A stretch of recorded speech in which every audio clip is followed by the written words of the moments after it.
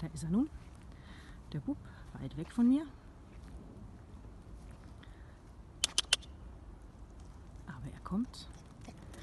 Sehr gut, Brudi. Sehr gut, Schnuffi. So, jetzt schauen wir mal, ob er das noch kann. Mami, sitz. Dubi, sitz. Mami, sitz. Nee, sitzen sollst du. Sitz. Mag er gerade nicht. Wir sind gerade dabei am Üben. Wird schon noch. Sitz. Jetzt sitzt du von allein, genau. Prima. Gib mir mal Pfutti. Pfutti. Ist hier draußen ein bisschen schwierig, gell, mit der ganzen Ablenkung.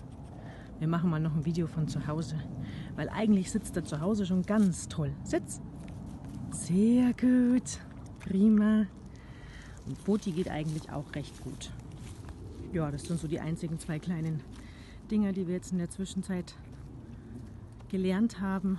Aber es war natürlich am Anfang auch noch schwierig, weil, äh, weil er erst ankommen musste, bevor ich überhaupt anfangen konnte, mit ihm zu arbeiten. Aber jetzt sind wir dabei. Ich glaube, es macht ihm auch Spaß, abends mit mir da zu sitzen und ein Leckerchen nach dem anderen zu kassieren, wenn es läuft.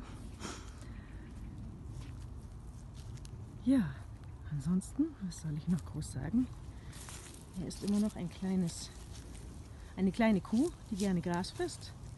Ja, das mit dem Autofahren hm, ist noch nicht weg, ist, ist aber besser.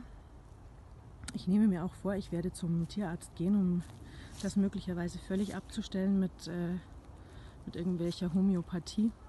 Aber so, so weit, so manchmal übergibt er sich gar nicht tagelang und dann kommt wieder ein Tag und dann äh, Mai nach zehn Minuten oder so kurz vor Ankunft in der Arbeit zum Beispiel oder zu Hause, je nachdem von wo wir starten, äh, übergibt er sich dann doch mal.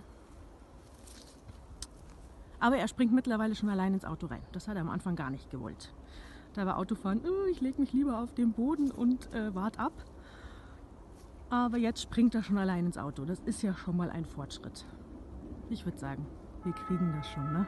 So weit, so.